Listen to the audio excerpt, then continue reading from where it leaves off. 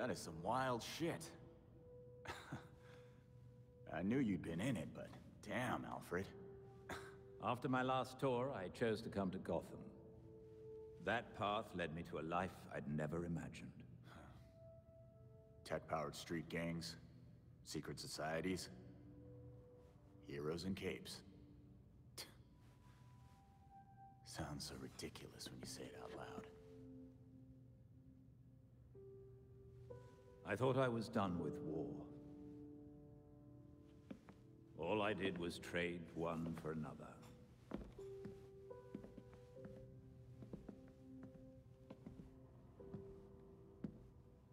The combatants change, the battlefronts shift, but the costs still add up.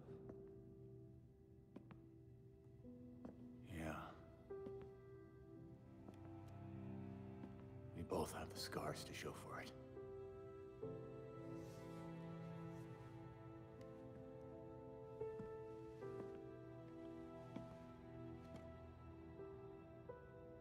Bruce blamed himself for your death, and for the darkness that followed. But even in the worst of times, we saw that you had the potential to emerge as a better man.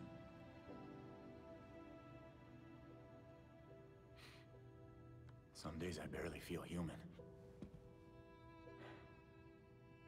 Let alone a better man. He believed in you, and was proud of how far you'd come. Especially after everything you've been through.